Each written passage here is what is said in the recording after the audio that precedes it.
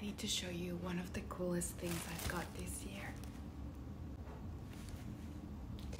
Directly from a unicorn world. If you have any idea on how to style it, you can mix it with all these colors.